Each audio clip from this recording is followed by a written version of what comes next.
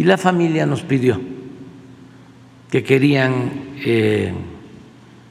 pues que esto se manejara en sigilo, con discreción,